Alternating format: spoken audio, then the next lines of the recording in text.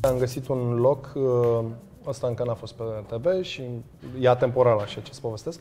Uh, Am găsit un loc unde am dormit într-o ce era, magazie, ca un fel de Un fel de magazin. o magazie la mijlocul, pe marginea autostrăzii, treceau mașini pe lângă noi cu 150 la oră, noi la un metru de autostradă cu picioarele, da? Și uh, eu m-am băgat într-un sac de dormit ca să nu mă muște acei țânțari de care ți-am zis, Sorin s-a băgat și el, m-am Am dormit deshidratat cumva și pe jos așa pe niște salte. undeva într-o oră m-am trezit și Sorin nu mai era lângă mine. Și Sorin era, ieșise din, stătea pe marginea drumului și stătea cu mâinile în cap. Și m-am zis, "Mă, ce faci Sorin? Și mi-a zis, Și asta nu erau filmate pentru că era, Era- noaptea pe era la noaptea 3, de la adică... trei. Și mă întrebam ce caut eu aici și, Și, de el ce. era foarte revoltat și a zis, bă, noi ce căutăm aici? Bă, nu mai pot.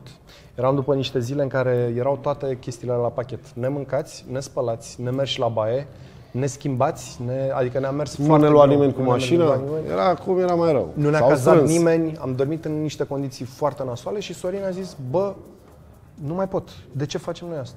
Și atunci am avut o discuție cu el și i-am zis, bă, Sorine, din secunda asta, dacă tu o simți și așa, luăm totul în plin și dacă plecăm, adică nu ne, nu ne pare rău, că și eu trăgeam spre casă, nu mai puteam. Și cred că din momentul ăla, nu știu, s-a întâmplat așa, o...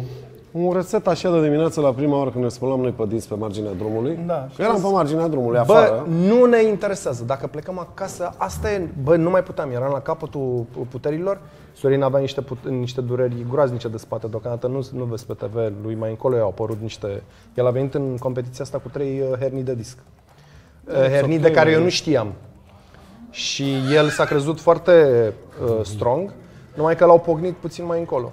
Și eram cu el, adică Am trebuia să 100 stau. de kg în spate. Poți să te duci în competiția asta uh, just for fun sau poți să te duci, adică noi am, am, am mers în plin în asta. Știam clar că sunt uh, echipe care sunt mai tineri ca noi, care sunt mai în forță, care au o condiție fizică mai, mai bună ca noi. Și ai zis, bă, Sorine, și l-am simțit că nici el n-a luat-o, adică a luat-o în serios. Nu am fost noi super înverșunați și supărați pe noi să ne reproșăm. A, tu n-ai făcut s-a aia, mai tu n-ai făcut întâmplat, aia. S-a, dar- s-a întâmplat, dar am trecut peste ele așa, adică nu s-a, n-a fost o dramă, n-a fost o tragedie. Deci am avut, uh, ca să concluzionăm, am avut o grămadă de uh, momente în care am vrut să cedăm și să plecăm acasă amândoi. Partea proastă e că nu poți să ridici mâna sus și să zici vreau să plec acasă. Pentru că avem niște cu- contracte și acolo Dar nici e... nu aș fi vrut să fac asta non-combat niciodată. și aia nu e ok. Nu, dar nu vreau, nici Da, da, da, da, da, vrut nu să m-am- facem asta niciodată. Ei nu se punea problema de așa ceva.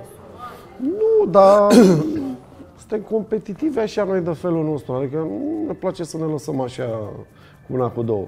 A, când n-am, nu mai putem, nu mai putem, că asta e, s-a văzut. Și când am fost la jocul de amuletă, când am trebuit să ne cărăm cu carele alea în spate. carele alea cu boi. Am tras, am tras, la un moment dat s-a tăiat gazul.